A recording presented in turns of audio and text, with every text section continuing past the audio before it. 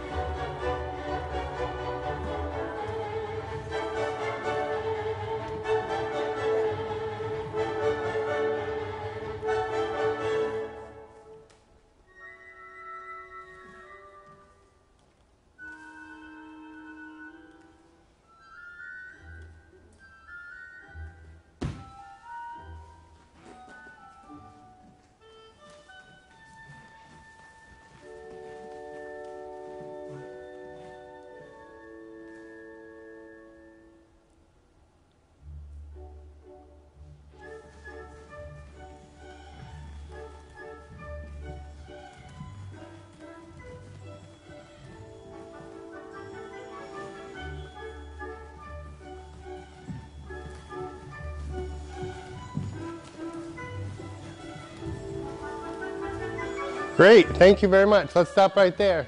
All right.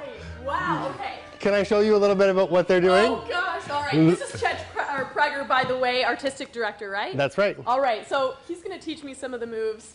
I don't have ballet shoes on. You'll be fine. You'll be fine. attire, but That's okay. All right. So, will you guys come do it with us? Oh, the, gosh. the core step on the side, we're going to do those balance. So we balance, a we step side on this foot. One, two, three. And then we go back the other way. One, two, you got it. One, two, three. One, two, three. There we go. So they do four of these. But right. let's make this three, two, three, four, two, three. Ready for this? Then we're going to step up on this leg, Yep. put the other leg closed, and we're going to turn around.